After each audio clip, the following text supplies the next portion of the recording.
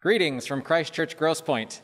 I'm Scott Hanoyan, the Associate for Worship and Liturgy and Director of Music, and I'm thrilled to welcome you to our first virtual organ concert of 2021.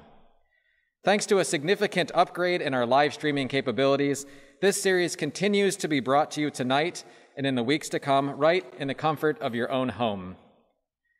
Tonight's organist, James Kibbie, is professor and chair of the organ department and university organist at the University of Michigan.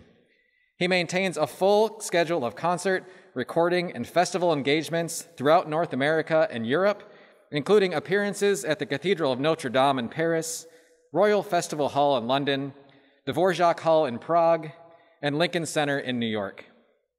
A frequent jury member of international organ competitions, he has himself been awarded the Grand Prize in Interpretation at the prestigious International Organ Competition of Chartres, France, and is also the only American to have won the International Organ Competition of the Prague Spring Festival in Czechoslovakia.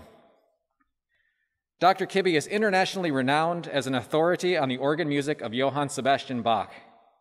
He has performed the complete cycle of Bach organ works in a series of 18 recitals and is in constant demand as a Bach recitalist and clinician.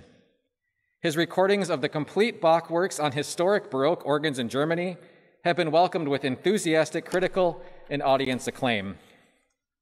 Personally, as a Michigan native, I have known Dr. Kibbie for decades. As a budding organist myself, one of the reasons I am here today is because of his encouragement to me during my formative years. As such, it gives me great pride to be able to host him for tonight's concert.